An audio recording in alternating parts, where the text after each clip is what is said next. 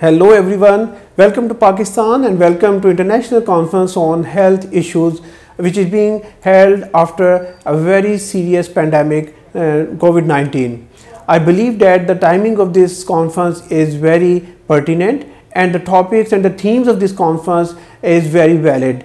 And I have seen uh, the themes uh, are very important and I believe that the scientific community uh, would participate and discuss these issues and we would be able to uh, find out some uh, tangible solutions against all, against all these issues.